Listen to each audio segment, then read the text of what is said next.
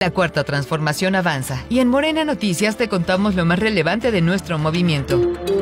En conferencia de prensa, el dirigente de Morena, Mario Delgado, y el presidente del Consejo Nacional, Alfonso Durazo, informaron que tras la cuarta y última consulta nacional, más de 300.000 mexicanas y mexicanos compartieron sus propuestas para construir el proyecto de Nación 2024-2030. El líder morenista, Mario Delgado, señaló que concluyó la etapa de recorridos de la y los aspirantes a coordinar la defensa de la transformación, un proceso histórico y democrático de la mano del pueblo. También quiero empezar felicitando a todos los aspirantes y la aspirante por esta etapa de recorridos tan exitosa.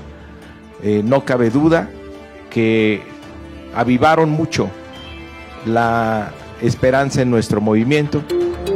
El presidente de Morena, Mario Delgado, anunció el inicio de la etapa de levantamiento de encuestas, que tendrá lugar del 28 de agosto al 3 de septiembre. Hizo un llamado a mantener la unidad y permitir que el pueblo decida en paz. Además, informó que se anunciará a la ganadora o ganador de la encuesta el próximo miércoles 6 de septiembre. El domingo es la fecha límite para el levantamiento para tener estos 12.500 cuestionarios y después empezar la etapa del conteo para finalmente el 6 de septiembre dar a conocer los resultados.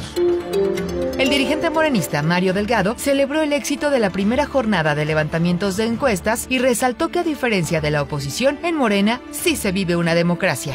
Aquí no hay dedazo ni simulación. Aquí el pueblo manda.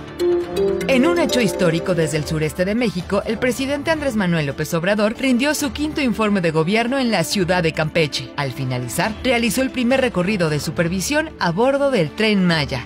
Democracia sí, oligarquía no, honestidad sí, corrupción no, justicia y fraternidad sí, pobreza y desigualdad no. ¡Viva México! ¡Viva México! ¡Viva México!